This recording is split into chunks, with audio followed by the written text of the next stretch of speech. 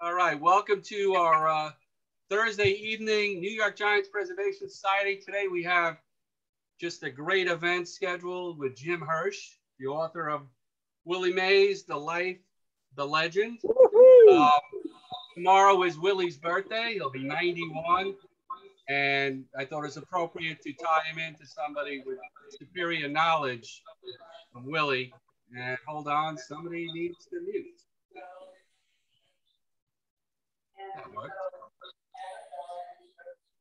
Can we please mute? All right. Anyway, uh, well, I'll, I'll as soon as I'm done talking, here we go. All right. Um, Jim Hirsch, uh, who wrote this book, many of us got autographed copies during the 2011 uh, Giant Trophy Tour in Manhattan. And it's, it's just a fabulous book. So we're gonna introduce Jim in a, in a couple of minutes. Just want to tie up some other business. Next week, uh, we're gonna have an author, Peter Kerasotis, who will be discussing his book on Felipe Alou. Uh, Felipe Alou turns 87 next Thursday. Peter will be addressing us on Wednesday. He cannot make it on Thursday, so it will be a Wednesday uh, um, meeting. Giants play 345. Hopefully they'll be done, um, you know, by 705. Last time I did that, they were done, you know, at 630. So hopefully we'll, uh, we'll take care of that. Uh, but again, tonight, uh, we're going to celebrate the life of, of uh, Willie Mays. And it is our distinct privilege to welcome Jim Hirsch to the New York Giants Preservation Society for tonight's Zoom meeting. Jim, thank you so much for uh, coming aboard tonight. Thank you. Thank you, Gary. Uh, I appreciate the invitation. It's always a pleasure to talk with anyone with connections to the New York Giants. So I'll, I'll talk for a while and then take your questions. And I, I guess I'll, um, I'll just begin by explaining how I, I, I got involved with this book. Um, my first book came out in 2000. It was a biography of Reuben Hurricane Carter. And I gave a presentation about Reuben.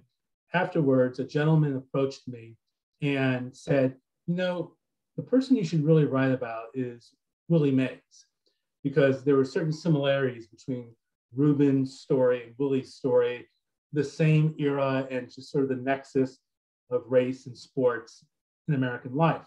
As it happens, I, I was and am a huge baseball fan. Uh, I grew up in St. Louis. I was a and am a huge Cardinal fan. I never saw Willie play, but of course I knew all about Willie um, as a player. And what immediately intrigued me about Willie was that, in addition to what he did on the field, was that his career in major leagues spanned from 1951 to 1973 um, yeah, which is um, which is essentially uh, overlaps the modern civil rights movement in, in, America. So I thought that act that would serve as an interesting backdrop and, and framework. Here, one of the most prominent black men in America. Um, you know, what, what was his life during this time in American history? My problem was that I didn't have any contacts in Major League Baseball. I had no way of reaching Willie. So I got hold of a documentary that ESPN had recently done. Uh, it, was, it was a one hour documentary that had a lot of interviews with various luminaries and talking heads from the baseball world. And um, included an interview with an older gentleman by the name of Sy Berger, who seemed to know Willie very well on a, on a personal level. So I, I looked Sy up online and found that he was um, an executive in a baseball card company. And he first met Willie in the early 1950s uh, to sign Willie up for his, his first baseball card. And he became a friend and advisor of Willie's ever since. So I next had to find Sy. I thought, I thought maybe he could introduce me to Willie. So I, um, so I, I, I called the company that Sy worked at. He was retired, but they gave me his home phone number. I don't think companies would do that now. But even in 2000, it was, it was kind of a a different uh, era then. So I called Sy, He lives on Long Island, and I introduced myself and I said I wanted to write a book about Willie Mays. And he thought it was a great idea. He said there has never been a book written about Willie. There needs to be one. He told me all the reasons why I should do it. But he said there was a problem, which is that Willie doesn't like doing these kinds of projects. Uh, he, he doesn't trust people. He doesn't really like to open up to people. It'll be very difficult to, to pull this off. He said to me, Jimmy, here's what you can do. I'm going to see Willie next month at the Hall of Fame ceremony in, in Cooperstown. Why don't you write me a letter and tell me why you want to do this book? I will give it to Willie in, in Cooperstown and I'll see what he says. So I wrote Sy a, a letter, I mailed it to him, and he, he goes to Cooperstown, he sees Willie, he comes back. Sy calls me up and says, Sorry, Willie's not interested. So fine. Um, I write another book, and that takes two years. Now it's 2002, and I decided, well, you know, I'm going to try to try to meet Willie again. I'm going to try to do this again. So I call Sy back up. I still have his phone number. I say, hey, Sy, this is Jim Hirsch. I'm still interested. Sy tells me all the reasons why it's a great idea. He wants to help me. He saw the reasons why it's going to be, be hard to do. But he says, Jim, this is what I want you to do. I'm going to see Willie next month in Cooperstown, the Hall of Fame ceremony. Write me a letter, and I'll, I'll take it to, to Willie, and I'll see what he says. So I still got my letter from two years ago on my computer. So I update it. I mail it to Sy in, in Long Island. He takes it to Willie. Cooperstown, he comes back. Sy calls me, says, sorry, Willie's not interested. Okay. I write another book. Two more years pass. Now it's 2004. And I'm not making this story up. It's 2004. I said, I'm going to try one more time. So I call Sy. I say, Sy, it's still Jim Hirsch. I'm still interested in this, in, in talking to, to Willie for a book. We go through the same thing. He says, Jim, send me a letter. I'm going to see Willie next month. We go through the same thing. Sy sees Willie, comes back, calls me up and says, sorry, Willie's not interested. I figured finally, okay, three strikes and you're out. This isn't going to work. I, I did all I could. I write another book. Now it's January of 2007. And my, it was actually my agent who persuaded me, you should try Willie one more time. And I figured, you know, this isn't going to work, but he persuades me. Now, I don't even know at this point if Sy is dead or alive. I mean, he was like in his 70s when I first met him. But I, I call him up. I actually talked to his wife, and his wife says, Jim, we're so glad to hear from you again. Like, I'm part of the family now, you know, because I've been calling for so many years. Um, I talked to Sy. Sy says, okay, I'll, I'll give Willie a call and, and I'll see if this works. Sy calls me back two weeks later and says, Willie will talk to you. And he gives me Willie's phone number. I've been trying seven years to get this number. I finally get it. And uh, so I call Willie and the, but the, the line is disconnected. I call again, it's, it's disconnected. So I call Sy back up and I say, Sy, I think, I think you gave me the wrong number. Can you can you double check? Now, Sy's in his 80s now, so his, his eyesight isn't as good. Originally, the, the number he gave me, the last four digits were 2422, but the correct digits were 2424, 2424. Willie convinced the phone company that um, you know he, he wanted the, those, those digits to be his phone number. And as I was later to discover, everything Willie did had 24 involved. His license plate was 24. He has all kinds of memorabilia with 24. Buzz! That's come here. That's his, hello? Yeah, you're good. Okay, that's his that's his identity. So I, I call Willie up and I introduce myself. He says, Oh yeah, you, you can come on by. Willie starts giving me directions to his house. He doesn't realize he's in Atherton, California, in the same house that he's lived in since he, he bought in 1968. He doesn't realize that I live in Boston, but he's giving me directions to how to get to his house from the highway. And, um, and so I take down the information and I'm literally on the plane the next day and I'm in his home two days later. Um, about that first visit, the only thing I'll mention really is just what strikes you when you meet Willie, I'm sure some of you have. He has the largest hands and forearms you've ever seen. You know, Willie was 5'10 and 160 pounds. He wasn't a big guy. But when you meet Willie and you shake his hands, you realize the source of his power was unbelievable okay, strength in his forearms and his hands. And so um, that began the, journey, and it, it, still took a long time to um, to convince Willie to to agree to do the book, and you know, it, it, but but that was how how we started. Um, I, I, should mention that the the arrangement that we had from the outset was that I had editorial control of the book, but I would let him read the manuscript, and he could make any factual corrections or if he thought I got something wrong. But that's that's what an authorized bi biography was as we as we defined it.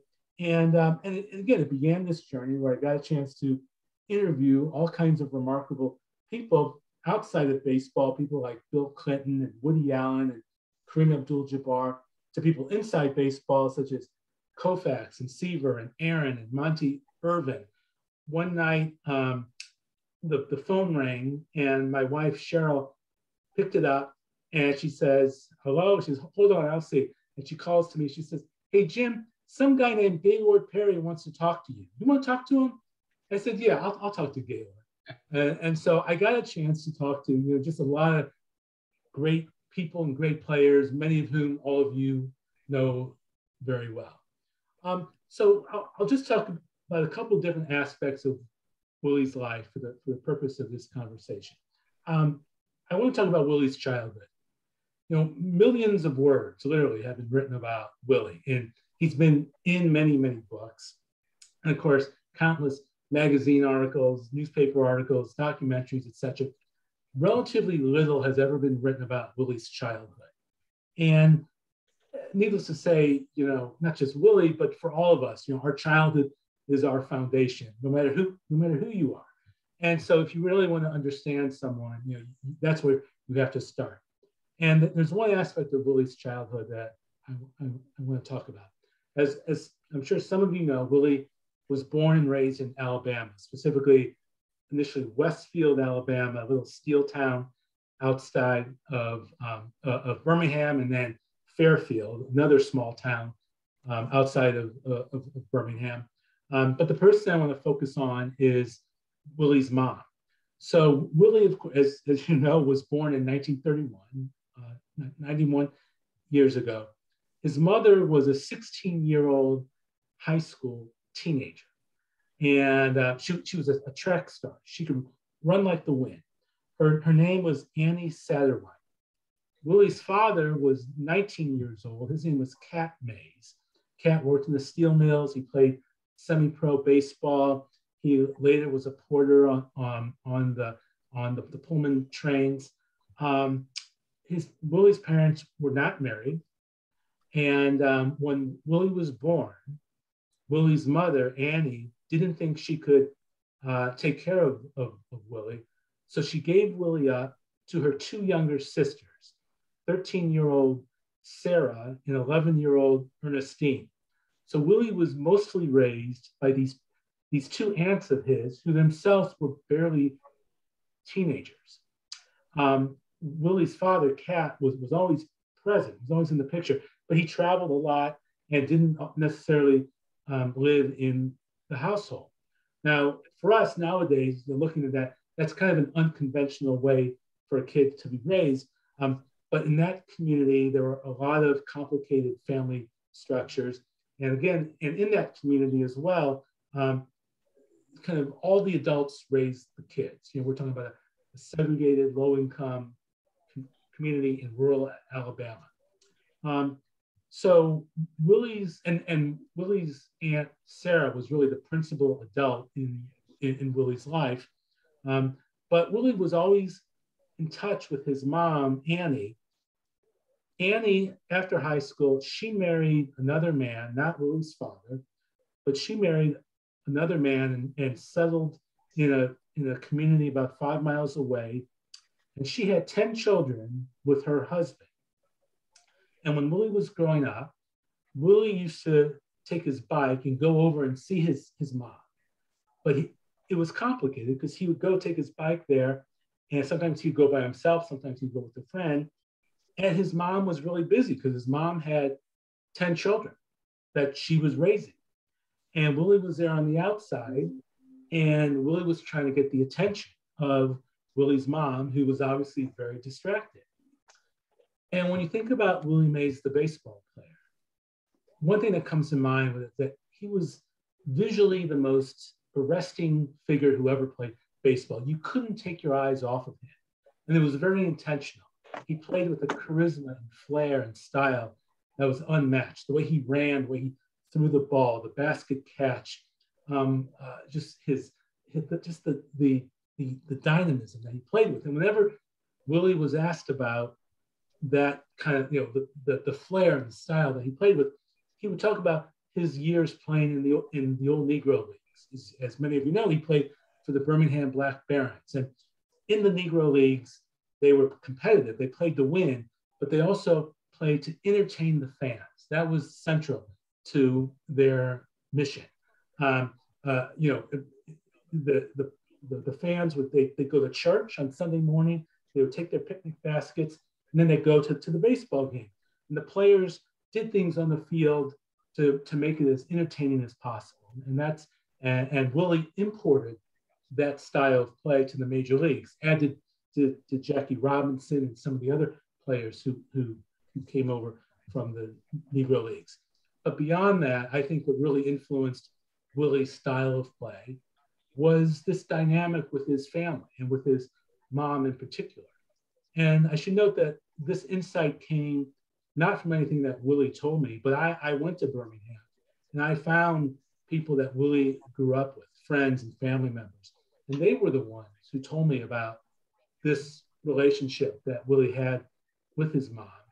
And I was, and then I was confident that I knew that his mom played this role in Willie's life. And I should say, I don't psychoanalyze people I, I write about, but I do try to understand them. Um, Willie, as an adult, has as his password on his computer Annie, A N N I E, the first name of his mother.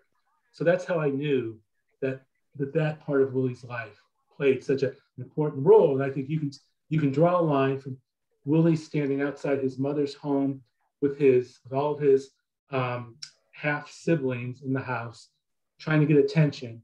Draw a straight line from that all the way to um, Willie Mays playing center field in the Polo Grounds. Um, so uh, next, I want to talk a little bit about Willie Mays, the baseball player. Um, you know, to me, it wasn't a matter of was Willie Mays the greatest player of all time or not. It was Willie Mays was a completely new archetype in Major League Baseball. When, when Willie came into the league in 1951, there were considered basically two types of players. There was the slugger who hit home runs and RBIs, and there was the, the, the player who was fast, who would bunt, who would steal a lot of bases and, and, and hit for a, for a high average. So you had like, you know, Babe Ruth was sort of one prototype, and Ty Cobb was the other prototype. And then you, you, know, you had some very good, well, you had some great all-around players like DiMaggio and Musial and Williams, and then soon to come guys like Mantle and Aaron and Clemente. Um, but when Willie came along, there had never been a five-tool player before. That phrase did not exist before Willie came along. Someone could hit for average, home runs, steal bases, throw, and and and and, and, and hit, hit for average. So Willie literally redefined the game of baseball. And to me, that was what um, is what you know made him such a, a compelling figure to to write about. Now, when people talk about the greatness of a player, particularly in baseball, they, they typically focus on the numbers. And you know, uh, Gary sent out an email that had some of the the, the, the data points of Willie's career, you know, the 302 batting average and the 660 home runs and the 941 OPS and all the rest.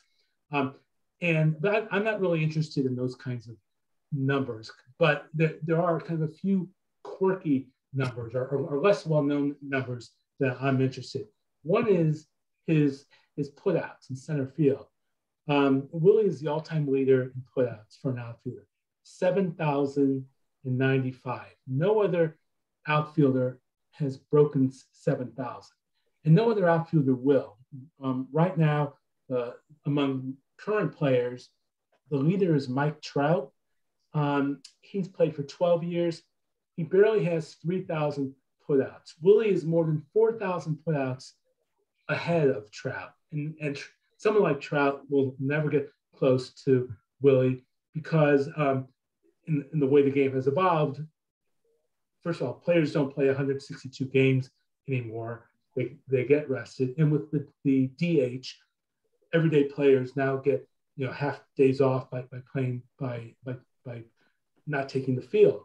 And so um, so to me, you know, that's an extraordinary number. I I read a, a story once by by that in which a reporter observed about Willie said Willie Mays never had to dive for a baseball. And I and in my conversations with Willie, I said, Well, Willie, why did you never have to dive for a baseball? And he said, Because I didn't have to. So okay.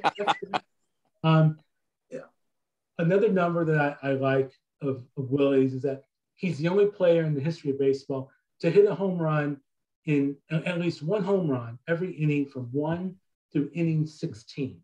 Yeah, I, I like that data point because it speaks to Willie's longevity and his durability and the fact that he, he came up big in clutch situations. And of course, the way the game has evolved now with putting a runner on at second base, um, you know, at the 10th inning, no, no player is ever going to hit a, a, home run in every inning from, from, from one through, through 16. All that being said, what, what made Willie to me such a great player was the stuff that you couldn't calculate in a box score. You, you couldn't um, quantify, I should say. Now, it's true for every great player in any sport. They do things that do not show up in the box score or in you know the football stats or the hockey stats, whatever. But with Willie, it was it was so much more. The way in which, um, again, he, he did things that couldn't be calculated. There were things like you know he, he would score from first base on a hit and run single because when he was rounding third, he would always notice if the relay man would drop his arm before he was going to throw home, and Willie would would take advantage of that and score. Willie on a close play at home plate, he would slow down and, and so that he would arrive at home plate the same time the ball would arrive so he could slam into the catcher, jar the ball, the ball loose, allowing the trailing runner to advance one base. Again, something that cannot be calculated in a box score. Um, one of my favorite plays of, of Willie's, it was the bottom of the 10th inning one game. They were playing the Mets. Like this was the late 60s. Score tied. Willie's on second base. There's there, there's one out. There's a ground ball to the third baseman, Wayne Garrett. If, if Willie just runs hard, he reaches third base, and Garrett throws the runner out and first base, and Willie's at third with two outs. Instead, Willie slows down. Wayne Garrett sees Willie slow down. He thinks he can tag Willie out before he gets to third, so instead of getting the sure out at first, Willie accelerates. He evades Garrett's tag. He reaches third base safely. First and third, one out. The next batter hits a fly ball to right field. Willie scores the, the game winning run on a sacrifice fly. That doesn't appear in a box score, but it, it, shows you the way Willie did things that, that no one else did. And finally, on, on this topic, I'll share with you my, my story about, about Tom Seaver. I think I referenced this in an essay that I wrote for the Times last year. Um, but I, I saw Seaver and his uh, home in Napa Valley. Seaver um, uh, uh, made, made wine, and he was very proud of his southern exposure for his, for his, his, his grapes. And so I, I spent an afternoon with Seaver and his beautiful wife, Nancy. Um, Seaver loved Willie. Uh, he, he was a he was uh, he idolized Willie when he was growing up. When Seaver played college bas- uh, baseball, he unbuttoned the top button on his shirt because that's what Willie did when when um, Willie played. And finally, in 1972, Willie is traded to the Mets with with Seaver, and the first game that Seaver pitches, uh, and Willie's playing center field.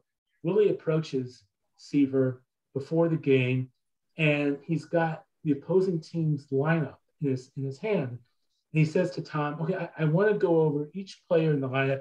You tell me how you're going to pitch each player, and I'll adjust where I, I positioned myself accordingly. And so Seaver did that. And then Seaver and Willie um, developed these signals where Seaver would discreetly uh, tell Willie out in center field how he was going to adjust pitching a particular player so Willie could reposition himself accordingly. Now, keep in mind, this is long before they had all the computer graphic scouting reports that they have now.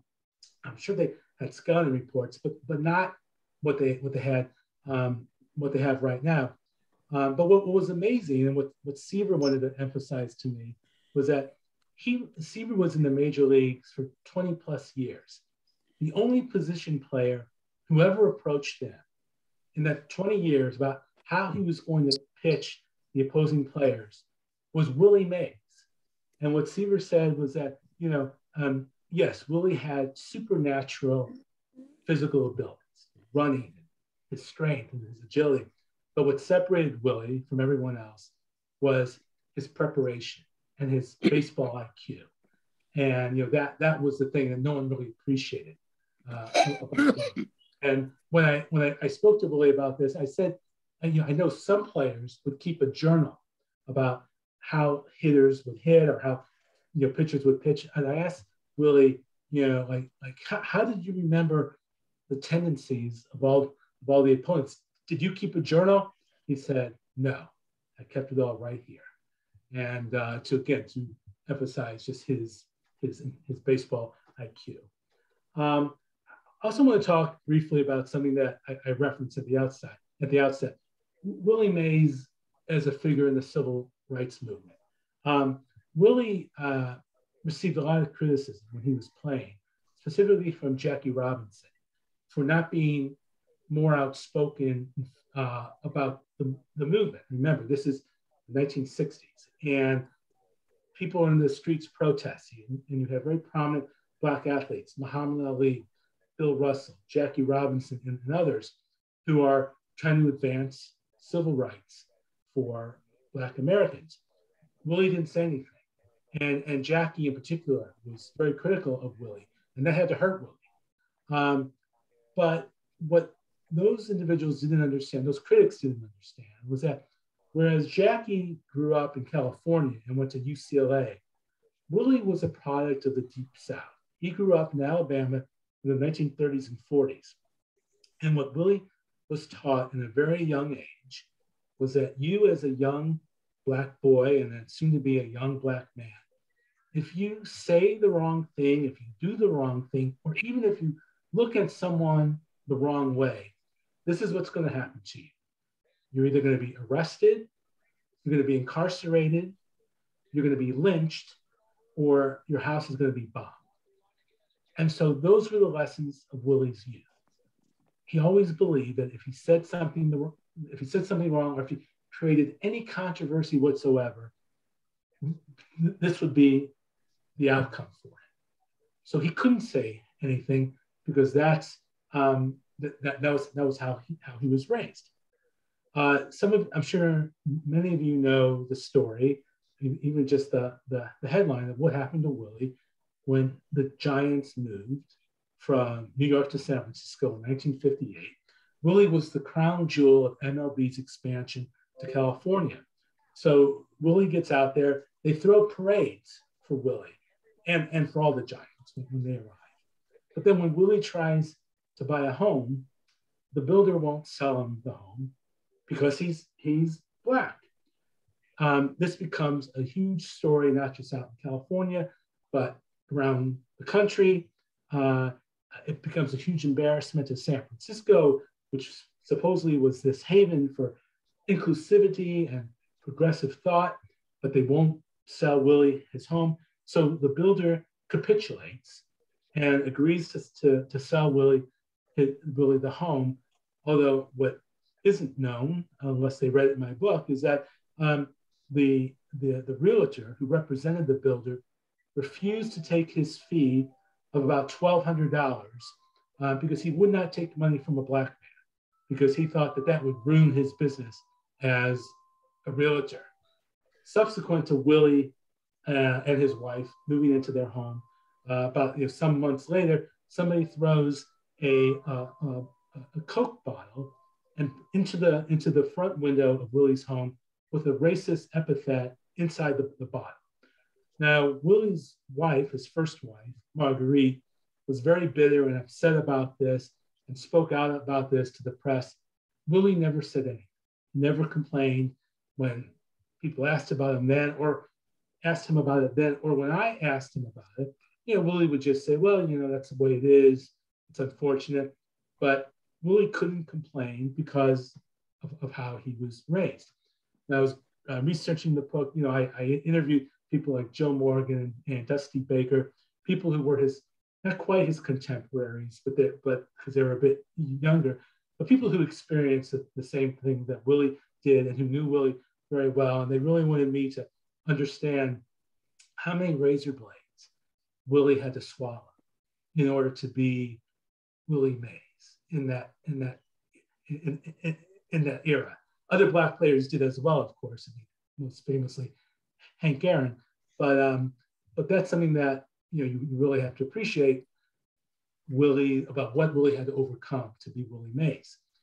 But all that notwithstanding, I think Willie was a really important figure in the civil rights movement. And here I draw upon my, some of my own experiences. I grew up in a, uh, an all-white suburb of St. Louis in the 1960s and 70s. But I was a huge sports fan. My, my heroes growing up were Black athletes of the era, some of whom you're familiar with, like Lou Brock and Bob Gibson. My parents never you know, lectured me and my siblings about civil rights or about treating Black people equally or anything like that. They didn't read Martin Luther King's letter from a Birmingham jail. They didn't have to. When I first learned about something called racism, it wasn't like I was indignant about it. I just, I couldn't, I was just puzzled by it. how could anyone not like Black people? They were the best players. And it was, it was the, the Black athletes that really sort of indoctrinated, you know, white kids like me to realizing that Black people are cool and we should emulate them. And so I knew that Willie had that effect on many white people, perhaps, people on this call. Um, and so I started, I started doing some research about this and, and, interviewing people. Um, in, in 1954, Willie was on the cover of Sports Illustrated with Leo Durocher and Leo Durocher's wife, the actress Laraine Day. For whatever reason, Laraine Day decided to put her arm around Willie Mays for the picture. And on the cover of Sports Illustrated, you had a white woman touching a black man, violating the ultimate taboo in American society. It created an uproar with Sports Illustrated. They were deluged with hundreds of letters, people canceling their subscriptions. America was going to hell in a handbasket. And yet, it was an important milestone in the civil rights movement because you actually had this breakthrough.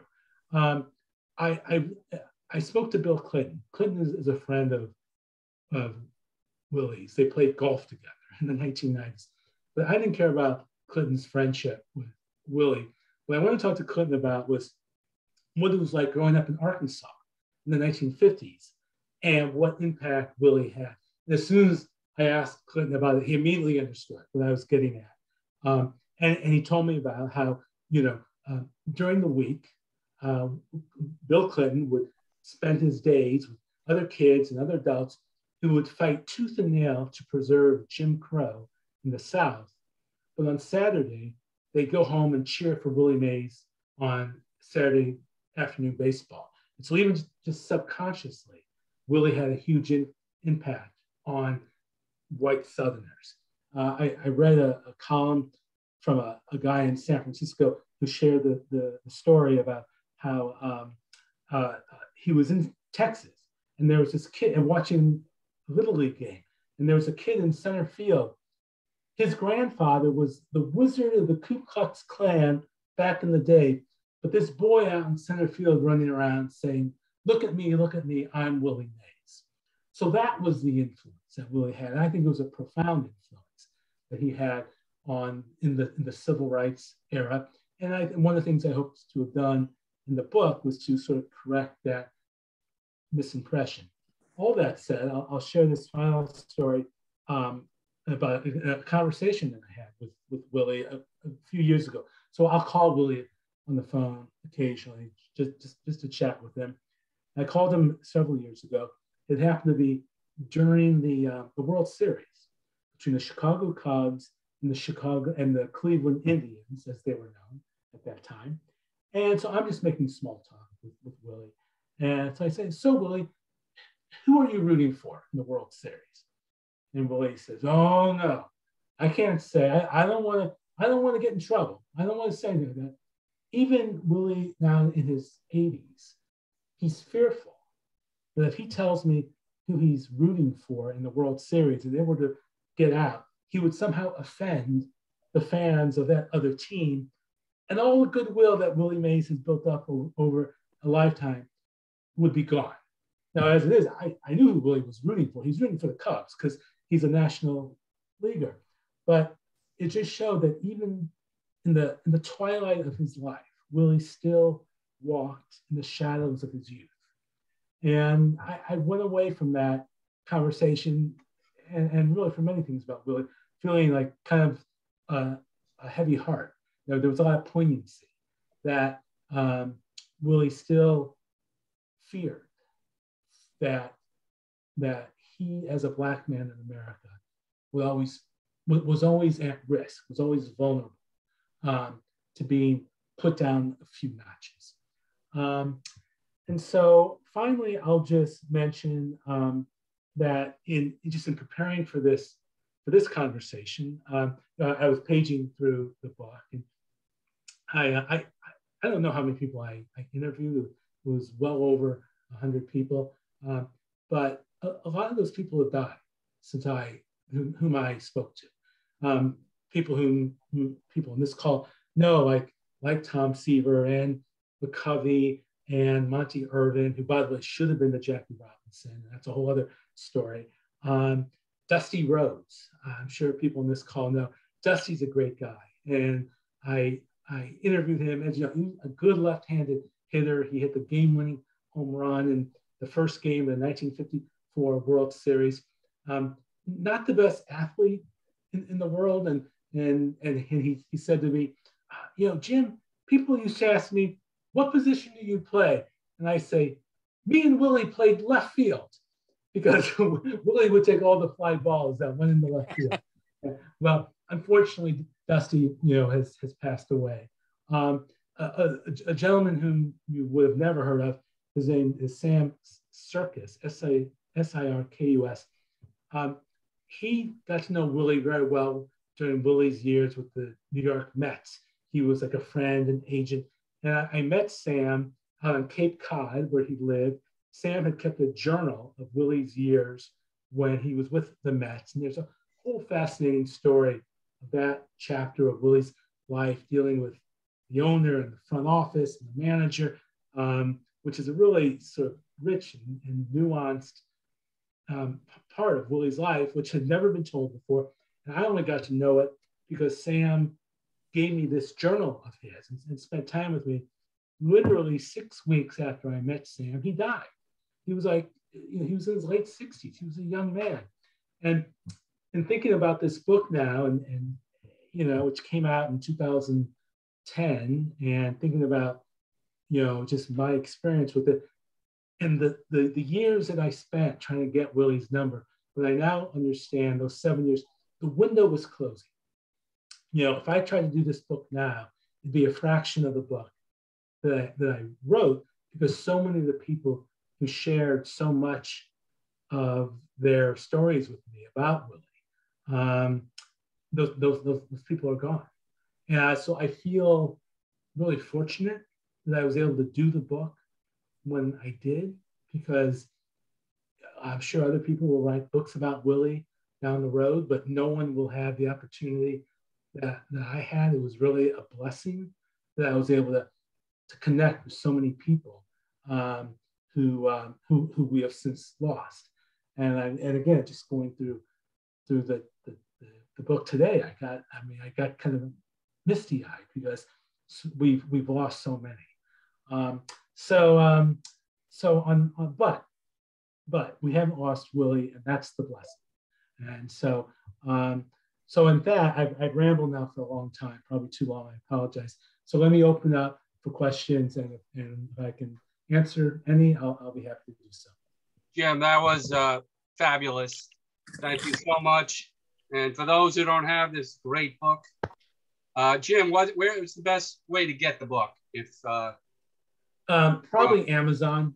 Okay, makes a great I'm, Father's Day gift for yeah. those who don't have it. Um, just a couple of comments. I think this group, mo most of the people are in this group because of Willie Mays. I, I, I think it would be hard. Now, I mean, everybody loves the New York Giants, but Mays, such a part of uh, our lives, a part of our uh, parents' lives, and, and, and the like. Um, Jim, one thing, uh, when they brought in the trophy, none of us believed the Giants would, I think, ever win a world championship in San Francisco. Your book truly, besides being amazing, was, you know, the icing on the cake. When Mays came in and you said about his youth, nobody saw him as an 80 year old guy coming in. They saw him as a 25 year old guy with his hat flying off. And to sit down with him and for him to scribble his name in the book, I mean, that must have made you feel wonderful uh, that they were signing a fabulous book and their idol and hero was the guy who's there signing it. How do you feel about that? Um, you know, to me, it's just kind of grat- a mixture of gratitude and, um, and, and, appreciation, not only for um, Willie and going and, you know it's not easy for him to sign books at this age, as I'm I'm sure you can appreciate. But you know it, it's and just the power of, of your group and just the power of baseball that how it brings people together it forms community. I mean, um, uh, you know, speaking as as someone who loves baseball and will always love it, and and um, and and the fact that you know your group uh, has you know it's it's it creates such tremendous bonds and friendships. And and then you had the championship. Then you had your hero show up, and Willie obviously is so grateful um, that people care about him. I mean, yeah, I just it's it's a really great feeling. That's great. One last comment. Um, I know all of us hate seeing the Giants. Well, most of us we're in here are Giant fans, and we hate seeing them lose. But I was at the first game that Mays played as a Met and it was okay that the Giants lost that day. So, uh, Artie, you are up. You say me, Gary? Yes, I did. I got to tell you, that book is magnificent, superb, stupendous. When it first came out, I don't, I must have read the review in the Times, and if I got the book faster than anything. I actually went to a Barnes and Noble to pick it up. I, I wasn't waiting for Amazon, hmm. and I devoured it. And then the Giants won the World Series, and they gave out the book. And I roamed around taking photographs. I hope Gary sent you a photograph that I took of Willie signing the book. I got down so I was eye level with him. Yeah. And I could see those magnificent hands as he was signing the book, as he was autographing the book. And he sat there patiently. Gary, help me out. Were there about 100 people in that room? And he signed the book for everybody. That's, I uh, think there was more than 100. Good. Thanks. Because I was photographing. And I got, when I got up there, I mean, I, I just wanted him to sign, but I couldn't help but saying to him that Willie, I had read the book and that he, I said, Willie, you're truly a an important person in the, in the history of this country. And Willie turned to me and he said, How kind of you to say that in this wonderful voice, so soft. Um, I'm not going to hog anything, but I want to tell you the first time I saw Willie play. I was two months shy of nine years old. It was July 10th, 1954. Willie was in center field. He made a great catch in right center, whirled and threw a runner out at home plate. He stole home, although the if you find the the uh, box score from that day, it'll say that Willie scored on an error on the pitcher. No, no, he didn't. It was a steal of home. I'm telling you that. That's how my father scored it in his book. and interestingly, you talk about Willie's effect on the civil rights movement. Before I forget it, you you you define something else. Yes, Willie was the first five tool player, but we in this group have decided that Willie is really a six tool player, and he has that six tool. Absolutely. But we sat, my dad, my brother, and I sat in a section of the polo grounds in right field. I think it was a dollar thirty to sit in those seats, and and the the people mostly were black people. I believe they were called Negroes in those days. I don't think they coined the term African American. And I look back on it, they had a distinctly Southern sound to their voice. And how they worship Willie Mays, that's how I know Willie stole home. Because one of the people cheering kept screaming, Steal home, Willie, steal home. He did. that's how I know that was a steal of home. Uh, I can go on forever, but Gary will shut me down. But I'll tell you, your book was wonderful. You and and this talk, this is you got it. Willie Mays was an, a, a an important figure. He still is an important figure. I saw him make plays with his brain. One last story, Gary. I promise. It was around 1967. My brother and I were sitting. It was a midweek game against the Mets. There maybe were 15, 20,000 people in the yard, so you could hear what was going on. Willie didn't have a good day at the plate. I think he struck out three times. But late in the game, Gaylord Perry had come in relief over Mike McCormick. Mike McCormick, who won the Cy Young that year in the National League, was a, uh, we used to call it a junk ball pitcher. I don't know what they call it. He was all off speed. And here comes Perry, who's whether he's throwing Vaseline or not, he's throwing a, a, a hard pitch. Willie repositions the left fielder who was Jim Ray Hart. And I can hear either whistle to him or call to him. And I, because I never took my eyes off Willie, we was my brother and I was sitting towards the outfield side of the infield, and Willie positioned Jim Ray Hart. And late in the game, the Mets put up a, a strong left-handed batter, Larry Stahl. Stahl kept fouling the ball off. Willie kept moving Jim Ray Hart towards the foul line and eventually Larry Stahl hit a ball from where we were sitting. Jim Ray Hart had his right foot on the foul line. That's how far Willie had pushed him over. Jim Ray caught the ball. If he didn't catch it, it would have killed him. It was right at him. Willie had positioned him so well. And eventually the Giants won the game. And I'm pretty sure it was extra innings, and Jim Ray Hart hit the home run.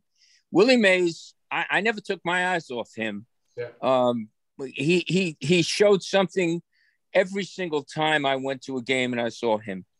You wrote a great book. You've memorialized a great, not only a great ball player, but a great American. Thank you very much for your time. Thanks, Gary. Harvey, first of all, that was great. Second of all, the picture was sent. Jim could verify that. Okay. Yes. uh, well, if, if, I, if I could say, if you look at that picture, Jim, you see Willie's hands signing the book. That those huge, beautiful hands and the, then the cover, the dust jacket of your book shows the same hands. That to me yeah. is magnificent. Yeah, yeah, hmm. magnificent. Thank you very much. All right, we're going to go to Jeff, then Steve, then Bill. Jeff, you're up. Thanks, Gary. Great presentation, Jim. Really enjoyed it. Thank you. Uh, one thing also, I was at that game with Gary 50 years ago. We weren't together, but we. Uh, I was at the game. It was uh, uh 50 years ago in about a week. So that was a, I, I remember it clearly. I was 10 years old. That was a, great game. Uh, my question to you is, and you mentioned it early in, in your talk about Willie's mom, and you said she had 10 other siblings, 10 other children, which are Willie's half siblings. I'm always wondering, was he ever in touch with his half sibling siblings during his life? Uh, do you know anything about that? Um, he he was not. I, there were some sporadic connections there, but um, but nothing that was ever full so, uh, um, in a permanent way. He, you know, when Willie became famous and affluent by the standards of Black Americans in the 1950s, I, I think some of those half siblings reached out to him. Um, but I, um, Willie really wasn't interested in forming any connections with them because that, he was really never part of that family. So there could be 10 people out there, one, one relative to Willie Mays and uh, no connection to him. Wow, wow. I can understand that. Thank you. Thanks, Jeff. Uh, Steve Rothschild. Just to uh, to back up what Harvey said, we're kind of close in age, and it's the same thing, Harvey. When I went to a game and Willie was playing, he just didn't take his eye off him. You know, kudos go to Gary for that uh, trophy signing that day, because if I remember correctly, and I couldn't make it, I live in Arizona now. I did make the second one. It was a private room for the New York Giants Preservation Society. And just to echo Gary's picture, these are my grandsons getting that book signed by Willie Mays. They were, I guess, eight and five at the time. You know, I run a session out here in Sun City Grand. Jim, you and I have spoken a couple of times. Um, I have a Zoom call scheduled tomorrow with Josh Thole, thanks to Jeff Cohn, who was on previously. He's the guy that caught Johan Santana's no hitter 2012. It was a big story up until last week because now there's a second no hitter. I have Willie's number. I've called him on his birthday for the last 10 years. Last year was very difficult. His hearing was horrendous, but he gave basically gave the phone to Michael, which was good because I was able to say what I want. It's, it's your call. I, we did it last year. The group did it last year on a Zoom like this.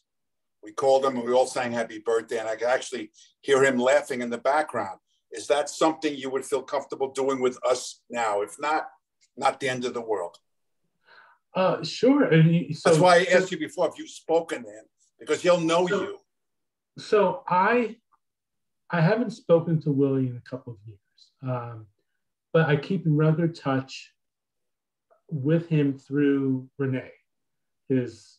But he generally picks up when I call. He usually picks up. Yeah. Just happen to be lucky, maybe. Yeah. I don't know. Um, you. Yeah, and so I, um, but but so uh, you know the, the last sort of interaction that I had with Willie indirectly was last year. And this kind of gives you a sense of our friendship. Um, I shouldn't say our, our relationship. Our family was going to be in St. Louis last year for a, for a family visit, and the Giants were in St. Louis playing the Cardinals. And so I called Renee and asked if Willie could get us some some good tickets, you know, for the game. And of course, Willie did. And, and so um, so that was like the last really you know indirect interaction that I've had with him. Excuse me. But I mean, so my, my day tomorrow, so you, you're going to do a Zoom. What I'm, no, what I'm saying is, and again, if, if, it doesn't work, it's not the end of the world. We could do it towards the end of the session, but the gang would love to sing happy birthday to Willie Mays. So you could initiate the call, put it on speakerphone if you get him on, or if it's Renee or whatever.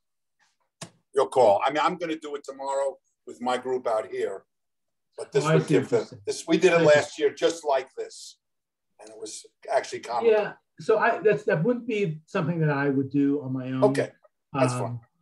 And and I guess I should really um, you know clarify kind of my relationship with what you know, I, I didn't want to be his friend. Correct. Uh, I understand. That wasn't my objective. Um, and so I, I, you know, it's it's a professional relationship. Um, but but just but I think this is telling. Um, when Willie's wife died, Mae, um, she died in 2012 or 2013. Willie asked me to give one of the eulogies. And there were only three eulogists. There was um, someone representing the San Francisco Giants. I think it was the, the owner, Gowan. There was like a family friend, and there was me. And I think Willie asked me because I I know Willie's life better than anyone, I think. And as a result, I know Mae's life, Willie's relationship with Mae really well. And and so I, my eulogy was about that. It was about how Mae fit into Willie's life. And um, and obviously I was honored to give a eulogy. Great honor. Uh, it was. And um, but I think that's kind of the relationship. You don't have to explain. There's a lot of people with questions. I just threw it out. Yeah, yeah, yeah no, no, no, but I just explain because sometimes people will say, "Oh, like, are you and Willie good friends? You're always talking." No, no, we're, we're not good friends. You know, we're we we have like a, a professional relationship. That's fine. No problem. Steve, when the session ends, if you want to call in, who's ever. No, no, no. I'm going to wait till tomorrow. Okay. I don't want to overkill this. All right, let's go to Bill Klink. Thank you very much, Jim. I read the book when it came out, and I guess I didn't pick up on a lot of the sociological impact of that. I think some of the stories that you told about the effects that he had on white culture in America, and uh, that that that I think is a tribute to Willie. Um, you mentioned too uh, the folks in in Fairfield. Share with you a brief story and show you a picture. I took my son uh, back for a football game in 1997 in September. I insisted that we stop in Birmingham and we drove over to Fairfield, you know, and I, I had no idea where his home was. I had seen a picture and we tried to find the home and well, we couldn't find his home. So what's the next best thing? We went to the city hall and a lady at the city hall said, I don't know where Willie Mays lived, but the city councilman, whose name doesn't ring a bell to me now, so he knows. This guy drove in from wherever he was, met me at City Hall, said, Follow me, drove me to Willie Mays's house. And I get a picture of, of me and you know, there's there's me at Willie Mays's uh, door. I got the same thing with my son. But here's the thing: he get well, you can't really see the letter, but he wrote down the name of the lady who lived there and her phone number and said, call her. She'll let you in. And I said, no. Uh, uh, no, uh, that, that's an invasion of privacy. Taking pictures in front of Willie Mays's boyhood home is fine, but I'm not calling some lady I don't know and asking to come in her house as a stranger. But that was how friendly people were. Yeah. There was also a ballpark there, Willie Mays Field, which right, we, right. you know, we went to see. And you've got, you've been there and, and done that. But um, what a what a nice community that he grew up in. You could sense that it hadn't changed all that much. And yet, there's the Willie Mays. Uh, this this was a, a 1983 uh, uh, Mercedes Benz that he had. yeah. It's in front of the Crown Point Hotel in San Mateo, and yeah, yeah. It, it is say hey 24 on it. So he had he literally had everything 24. Here's one you guys haven't seen. That may be one of the earliest photos of him as a professional. Wow. That is Trenton, 1950, in front of what, what they called the bus. They, wow. they traveled entirely by bus. Um, I, I, I, have met Willie a couple of times, but I will tell you the, the photos like that story in Fairfield and the people I got to know from the 50 Trenton uh, Giants teams gave me an appreciation of a man who uh, had an impact, a quiet, outside of the ballpark, a quiet impact on America, but he, but a large impact. Thank you for making an impact, Jim, with your book. It really was a wonderful one. You know, now I'm, what am I going to do now? I'm going to take it out of the garage and reread that thing again. Thank you. Thank you. Thank, thank you, Bill. We got uh, Paul, and then somebody who has a hand up that just says iPhone. Don't know who that is. Paul, you're Mars. Up. Mars. Mars. Paul, yeah, you're Jim, up. thank Jim, thank you so much. I really loved that book when it came out, and it's just really terrific. I have a, just my question is in terms of um, Willie's closeness to his to his um, to his fellow ball players. Which ball player on the New York Giants and the San Francisco Giants was Willie closest to, and why? Well, Monte Irvin was um, really kind of his his mentor when he when he joined um, in 1951 because obviously Monte is, was African American and was several years older, so he really relied on Monte for guidance, how to handle yourself, both as a baseball player on the field and off the field. Um, with the San Francisco Giants, oh gosh, you know, um, I would have to um, who he was really close with. I, I, can't really think of anyone who comes to my to mind immediately. Um, you know, like he, he got along well with Cepeda and McCovey, and but he was, um, but I don't, I, I'm just thinking, I can't think of anyone top of my head. You know, he, he was older than a lot of the, the, the, the younger players, so he kind of kept to himself. Um, I mean, I know I, I recall, you know, anecdotes in the book about how he would go to the to the ballpark by himself, and then he'd come home by himself. And uh, and he, this particularly before he got remarried, you know, he had a housekeeper who would cook him meals, but he, you know, he was always kind of a loner. Um, uh, so I, I, I don't recall off the top of my head who he was particularly close to on that Giants team. Okay, thanks, Jim. And we're going to go to Mars and then Hindi. Uh, thank you, Jim. That was very informative. Uh, I want to ask you, uh, uh, I'm not sure if I have your book or not because I have so many books on Willie Mays. The first one I bought was, I believe, written by Arnold Hano, Born to Play Ball. It was uh, in the 1950s, and uh, I still have it. And actually, I got Willie Mays' autograph in the Polo Grounds after a game when I was eight years old in 1955, when all the fans were able to go out on the field after the game. So please tell me. I know you mentioned uh, you, uh, the book is about his childhood. How far do you take it into um, after that? You, you mean after he retires? Well, no, after his childhood. How far do you take Willie Mays' life? Up to about what age? Oh well, I his, his entire baseball career, and yeah, so it goes from from birth to um, you know, he retires in 1973, and I write, you know, a little bit about his post-baseball life.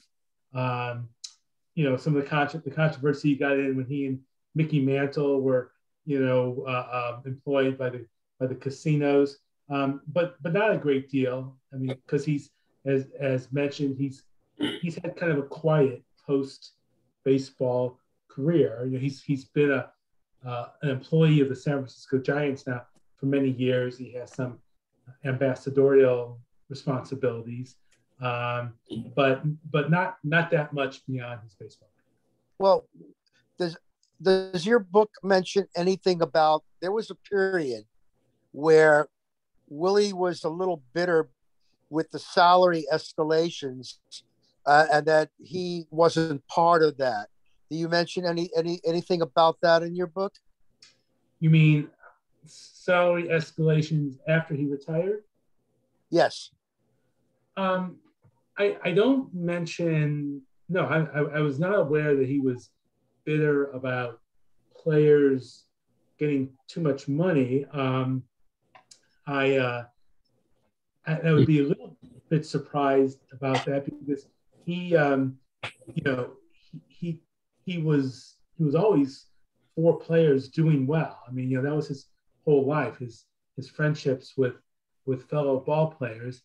What what was interesting though to me was that Willie, um, you know, actually had mixed feelings about the end of the reserve clause, which um, which coincided with his retirement. By, by coincidence, in, in, in Willie's mind, he thought that, that the teams were responsible for taking care of the players. He had this very um, paternalistic sense of how teams should treat ball players and the idea that players should um, uh, uh, become free agents, play out, you know, exercise their option, go on to the market. I think that grated Willie, and maybe this is what you're referring to that Willie saw that as a sign of betrayal by the players. Um, now, now that's you could easily criticize that view of Willie because while Willie was always treated well by his employers, whether it was the New York Giants, the San Francisco Giants, or the Mets, many other players were treated like you know cattle. You know, when when the teams were done with them, they would just discard them. Um, I think most of us welcome the fact that players won their autonomy by, by being able to you know, after playing on a on a team for what is it, five years, they had the option to go exercise their their um, their their free agency and get paid uh, a lot of money. But you know, Willie was of a, of a different generation and thought that players should be loyal to to their employers. Well, it's the the owners are not loyal. But we used to have a saying, as uh, my friends and I were, many of them were Willie Mays fans like myself. We used to say if Willie played in today's game, they'd have to make him part owner. Mm-hmm because he's worth so much more than anybody on the field today. That's right. And you know what? If I if I may interject one comment, which is which is somewhat peripheral to the to what you just said, but but it brings to mind if Willie Mays played today in the age of video social media, where it's all about finding the most exciting moment on the field and then sending it out on Instagram or or um, you know YouTube or whatever, and that's where it's all about content, and that's where you make money. That's where the media outlets make money. That's where the teams make money. One of the really unfortunate things about Willie's career is that he played so many games that were not televised that we, we have no film footage of it. Many of you on this call got to see Willie play in person. And that's that's a blessing for, for you all. But for for the, the rest of us, we just see Willie, you know, our, our, our, our images of Willie are, are very limited. And it's unfortunate. If he played today, he'd be a star, you know, he, a transcendent star many times what he was when he played in his era. I was blessed that I was able to see him his whole career in the Polo Grounds. And then I moved to San Francisco in 1967. so I'm blessed with that. Very good. Thank, Thank you very much, Jim. Jim, this was my introduction to Willie Mays. Was, I was in uh, like fifth grade. I had this book by Howard Liss. Yeah. Somehow, somehow, maybe 15 years ago, I found it in a used store. Brought back great memories. Um, do you have time for a few more questions? Of course, sure. Great. Um, Hindi, Mrs. Willie Mays, you're. I really loved your presentation. I just have a little memory about Willie Mays. Uh, All right. I got this in 1962 when the Mets first started. Yeah. Okay. And then I went, and every year in Cooperstown, I would go and see him, and he would call me the button lady. And he would say, Oh, there comes the button lady again. So here's me and Willie. Uh, oh, that's magnificent. Oh, great. And he really was, he was wonderful. Very good. That's great to hear. Jim, I got a non Willie Mays question. I have a Jim Hirsch question. Sure. Uh, your book on uh, Rubin Hurricane Carter. Yeah. Um, 1975, I was up in Monticello, New York, and my brother purchased the Bob Dylan album Desire. And that was how I found out about him. I did, oh, yeah. not have, I did not read your book. I'm sorry. I didn't even know much about it. Uh, what was your uh, feelings about the song? The song made Rubin not just a national figure, but an international figure. I, I met people, Gary, uh, um, when, when I was doing the book and beyond, who knew about Rubin Carter. They lived their whole life in Germany or Australia, but they were Bob Dylan fans.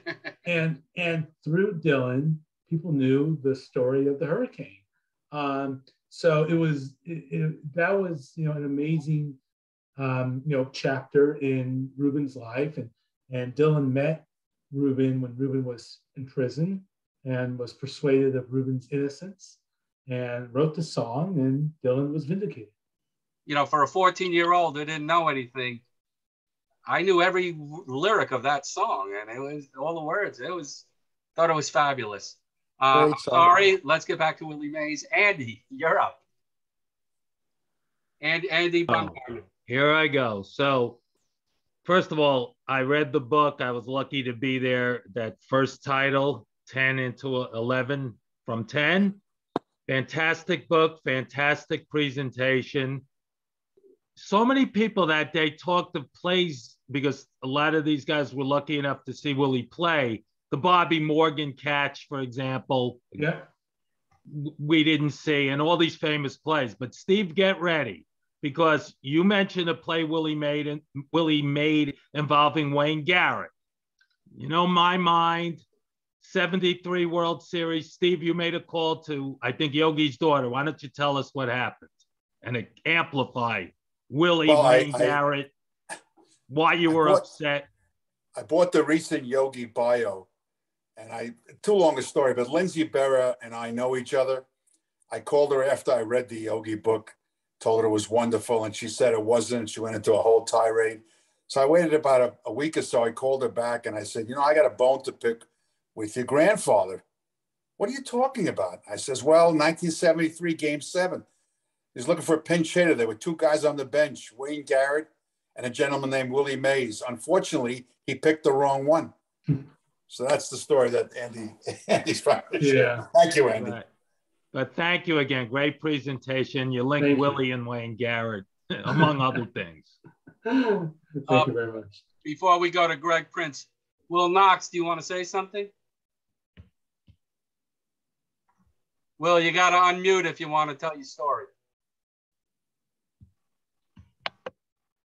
Will, you got to, Gary, you hello, know, Gary, Gary, yeah, who's this? Rich Glazer.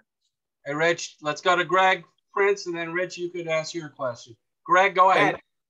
Thanks, Gary. Thank you, Jim, for writing a terrific book that has stayed with me for the last now 12 years, I suppose.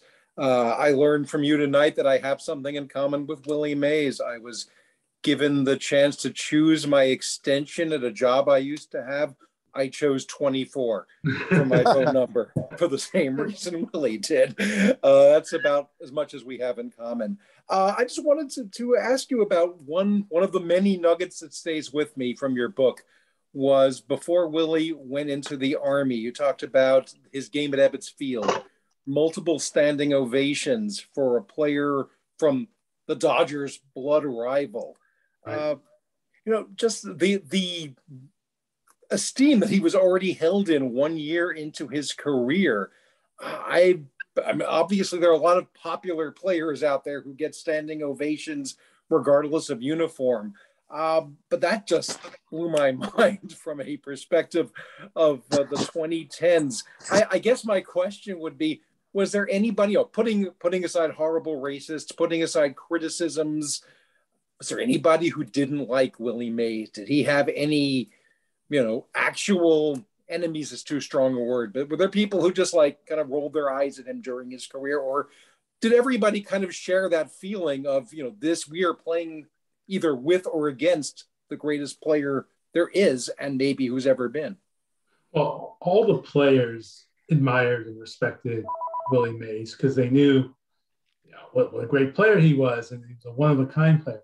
But um, he, he was not beloved by many of the journalists and reporters who, who covered baseball, whether they were a, a beat reporter for the Giants or elsewhere, because Willie could definitely be difficult with reporters. He could be brusque and he could be um, hard to deal with uh, because I, I, I became more so as he got older. I think because he didn't trust people for some of the reasons I described earlier. So Willie did take his share of criticism from from that cohort um, because he wouldn't give them the kind of access that um, you know that that that they were hoping for. Um, but in terms of people, in terms of other players and coaches, umpires, you know, Willie was not thrown out of a single game in his entire career. He, he never argued with umpires, which is reflective of his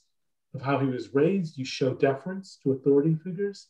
Um, so in that sense, no, I mean he was he was baseball royalty among his peers. Willie Mays was booed in Seal Stadium when the Giants moved here. And Herb Caen, the famous columnist, wrote, a city that cheers Nikita Khrushchev when Khrushchev was staying at the Mark Hopkins and booed Willie Mays. Plus, they wouldn't rent him a home in Miraloma Park. And I have that book. Uh, the, the builder and the real estate broker wouldn't rent to him because he was black.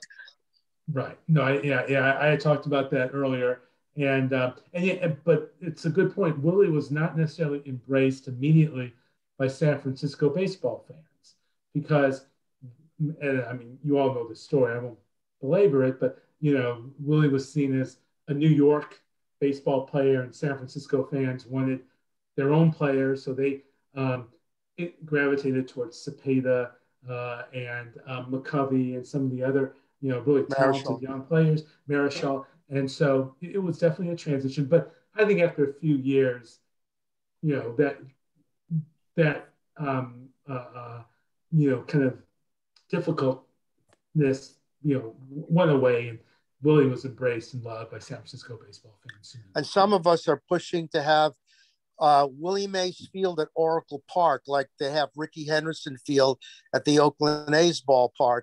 But Larry Baer made a statement on our Zoom meeting. Well, there are lot, enough things already named after Willie Mays. To me, that was a slur. All right, let's go to Rich Glazer. Glazer. Uh, Rich, I'm sorry I mispronounced it.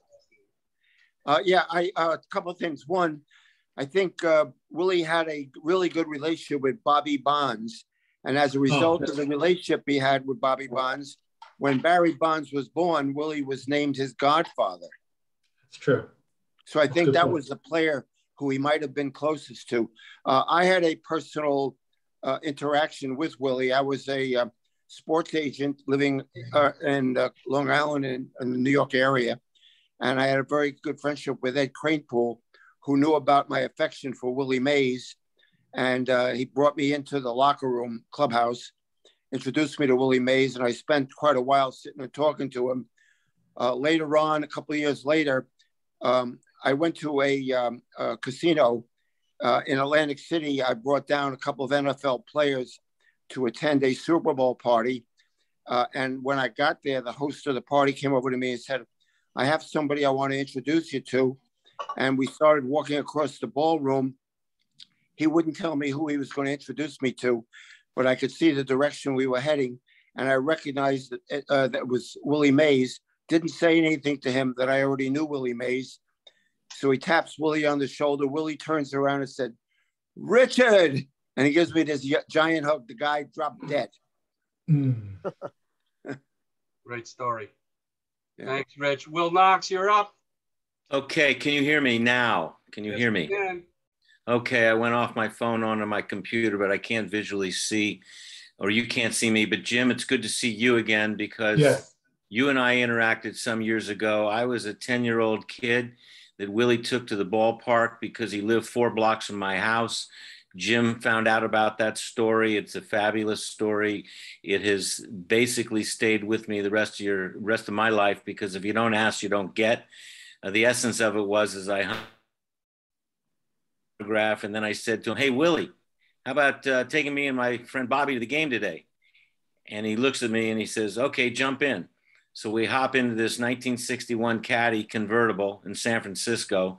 No one has a convertible in San Francisco, I can assure you. so we hop into the car and we're two blocks uh, out. Oh my gosh, Willie, I forgot the tickets we we have our tickets. They're Bobby's house. Well, where's Bobby live? Bobby lives three blocks the other way. So we go.